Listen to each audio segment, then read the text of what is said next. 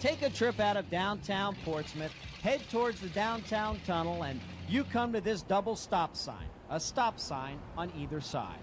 Most cars are like this one, inching up, slowly you go, never coming to a complete stop. There we go.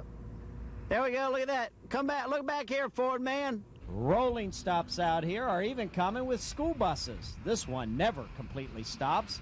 Neither does HM Webb and Associates, nor Chesapeake CVAMP Senior Services. Ho, ho, ho! You didn't come to a complete stop at that stop sign. You got all these nice ladies in here. I'm afraid they might get hurt. Yeah, right. Okay. I did come to a complete stop. You know, our video Yeah. shows you didn't. Oh, you got to come to a complete stop at that white line. Hello, ladies. Hello. They'll stop if we're out here. Most saw the cameras and followed the rules of the road. Here's a pickup truck. Let's see if he runs it. He put his brakes on. My car. Uh, ah, we'll let him go. He put his brakes on, but it was a close one. Okay. Oh! Oh!